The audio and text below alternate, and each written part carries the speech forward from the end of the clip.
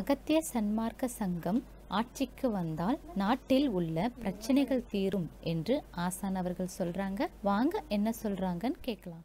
மலையா ஐஎஸ்கிற நக்சலுக்கிற என்னமோ சொல்கிறா கதை விட்டுட்டு இருக்கா பொடி பசங்கள் பொடி பசங்கள் இந்த பசங்கள். யாரு? தீவிரவாதிகளை பொடி பசங்கள். நக்சலிட்டுக்கிறான் என்னமோ இது என்னமோ அவன் பாட்டை விட்றான் கதை விட்றான் பொடி பசங்கள். அப்போ தீவிரவாதியை சந்திப்போம். ஐம்பது வளர்ச்சி ஆட்டி படைப்போம். நாங்களே இந்த சங்கமே உலகத்தியால் என்னடா? என்ன காரணம்? புண்ணியம் இருப்பதால் தான் புண்ணியம் இருக்கு. பொருளை கண்டு மயங்க மாட்டோம்.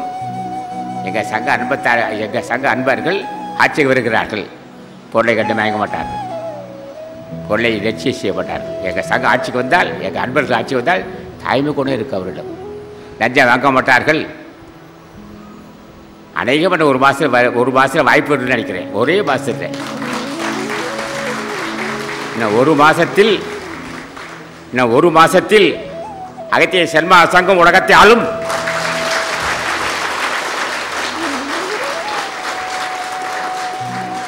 இந்த கொடுக்கு வளாட்சி ஒழிப்போம். கொடுக்கு வளாட்சி ஒழிப்போம். என்னை பே பேசுறது கலைவன் பேசுறேன்னா குமரன் பேசுறேன். குமரன் தான்டா நான். குமரன் தான்.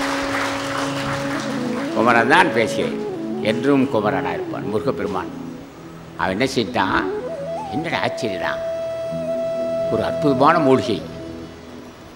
வெளியே சொல்லக்கூடாது. சொல்லக்கூடாது ஒரு மர்மம் அது. அப்பேற்பட்ட மர்மமான மூலிகைப்பா. சொல்லக்கூடாத மர்மமான மூலிகை. அவன் தான் கண்டுபிடிச்சா பிறகு தான் கண்டுபிடிச்சான் யாரும் பிறக்க யாரும் சொல்லவே முடியல. பிறப்பு ஒழிக்கும் மருந்து. யாருக்கும் பேசப்படாத மருந்து பண்ணார். ராமலிங்க சாமி சொல்லுவார் மருந்துக்கு தலைப்பில் இருக்கும்.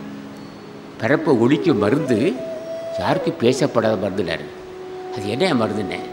அடே புரியாத பேசிகிட்டு இருக்கான். புகழ வேண்டாது ஐயோ புகழையா? சொல்லாதே. அது அவ்வளோ பெரிய மர்மம் உள்ளதுடா. அந்த புகழையை காலையில் வந்து இந்த வாசனை புகழை இல்லை. காலையில் ஒரு மெழுகு குறித்து வாயில் போட்டு மூழ்கிடுவாங்க சொன்னார் போட்டுடுறான் அது சொன்னார் பிறப்பு ஒழிக்கும் மருந்து யாருக்கும் பேசப்படாத மருந்து விடார் அப்பேற்பட்ட ஒரு மூலிகை அது. ஆனால் ஆசானது அருளுரைகளை தொடர்ந்து கேட்க அரங்கர் டிவிக்கு லைக் பண்ணுங்க சப்ஸ்கிரைப் பண்ணுங்க. மறக்காம பெல் பட்டனையும் கிளிக் பண்ணுங்க.